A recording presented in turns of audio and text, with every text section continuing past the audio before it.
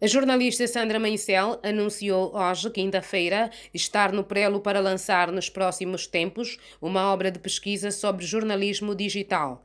A saída de uma audiência com a vice-presidente do MPLA, Luísa Damião, Sandra Mancel declarou que, como pesquisadora, está atenta aos fenómenos comunicacionais. A jornalista da televisão pública salientou que o momento atual propicia a observação do jornalismo digital e do comportamento dos cidadãos à volta do período eleitoral, bem como uma análise de outros fenómenos comunicacionais, como as fake news. Eu sou pesquisadora na área de comunicação, continuo atenta aos fenómenos comunicacionais, muito mais ligados à questão das redes sociais, eh, do jornalismo digital em particular, e entretanto este métier é o que me está a absorver tempo, curiosidade, e penso que nos próximos tempos será este o meu foco de atenção.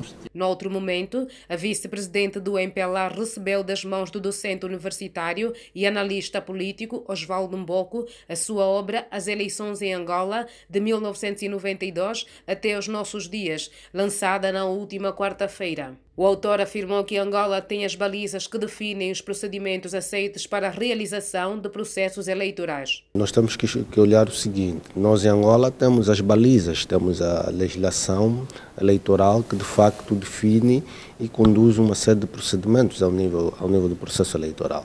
Desde que as instituições do Estado, que de facto devem operacionalizar a feitura ou a execução da mesma, estiverem a caminhar eh, no âmbito daquilo que está instituído, eh, é um procedimento normal.